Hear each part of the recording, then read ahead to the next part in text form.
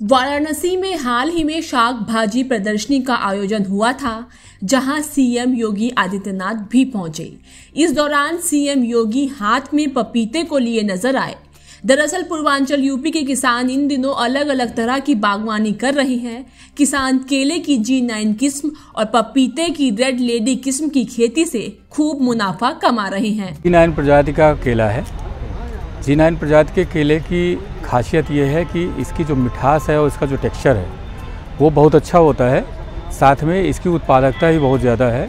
एक किसान को एक हेक्टेयर में सात से आठ लाख रुपए की नेट इनकम होती है। किसानों को रेड लेडी किस्म के पपीते की खेती से भी बढ़िया मुनाफा हो रहा है। ये साइज़ में बड़ा होता है और खाने में भी ज़्यादा स्वादिष्ट है। इसलिए किसानों को रेड लेडी किस्म के पपीते का अच्छा दाम मिल रहा है। रेड लेडी प्रजाति का पपीता है जो हमारे सभी जन मंडल के सभी जनपदों में पैदा होता है किसानों द्वारा पैदा किया जाता है। जौनपुर गाजीपुर वाराणसी तथा चंदौली के किसानों द्वारा इसका उत्पादन किया जाता है। इसमें करीब किसान साढ़े तीन लाख से चार लाख की नेट इनकम एक हेक्टेयर से प्राप्त कर सकता है। इसमें कौन सी वैरायटी खास है जिसको किसान सबसे ज़्यादा उत्पादित कर रहे हैं? इसमें रेड लेडी सबसे प्रचलित और अच्छी वैरायटी है जिसका उत्पादन किया जाता है। उसमें जो फल है फल का साइज़ आप जैसे देख रहे हैं अच्छा सब होता है।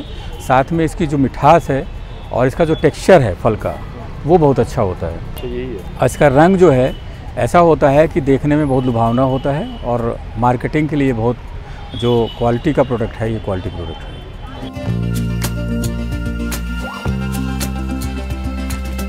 पपीते की रेड लेडी किस्म का बीज सरकार द्वारा मान्यता प्राप्त प्रतिष्ठित बीज की दुकानों पर उपलब्ध है। अब अगर आप रेड लेडी किस्म के पपीते की खेती करने की सोच रहे हैं तो बता दें कि रेड लेडी किस्म के पपीते के बीज सवा से डेढ़ लाख रुपए प्रति किलो तक मिलते हैं। अब आपको बताते हैं कि केले की जी नाइन किस्म की खेती के लिए पौधा कहाँ से खरीदें? लखनऊ के उद्यान विभाग के कल्चर लैब से किसान जी नाइन किस्म के केले का पौधा खरीद सकते हैं। इस पौधे की कीमत पंद्रह से लेकर सत्रह रूपए तक होती है। खेती किसानी से जुड़ी ऐसी ही जानकारी भरे वीडियोस के लिए देखते रहें किसान तक।